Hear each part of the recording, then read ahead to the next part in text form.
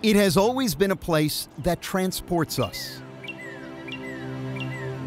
The portal we pass through from winter to spring.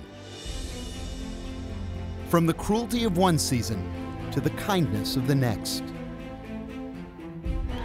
Our last April trip here reminded us much of possibility and hope.